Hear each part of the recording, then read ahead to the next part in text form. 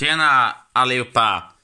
Nu är det dags för Wikipedia igen. Ja, fast det är ett extra speciellt avsnitt för det här episodet är lite kortare. Ja. Ja, det var mina hörlurar. Som nu laddat i fyra timmar.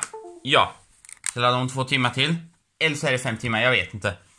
Nej, men idag blir det kortaste episodet av Wikipedia. Okej, då läser vi. Nocco. Nocco är en svensk energidryck innehållande BCAA som är marknadsförs av No Caribs Company och ägs av Vita, Vitaminväl AB. Drycken lanserades 2014 och är den mest sålda BCAA-drycken i Sverige. Den innehåller mest, den innehåller även sex olika typer av vitaminer som B6, B2 och kolsyra. Ja. Sortiment. Nocco har två typer av drycker i sitt sortiment. Nu finns det flera, ja. Nu har jag ju sett, de har inte bara BCAA.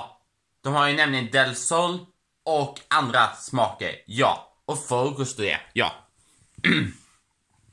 Nocco har två drycker i sitt sortiment.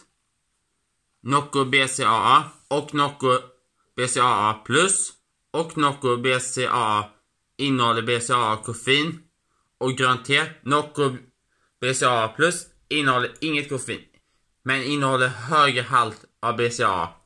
Båda dryckerna är dock sockerfria och innehåller samma vitaminer.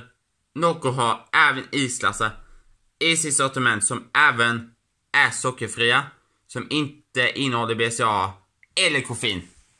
Och så ser ni mera. Ja. Första gången jag läser i en Wikipedia-video så här mycket. Ja.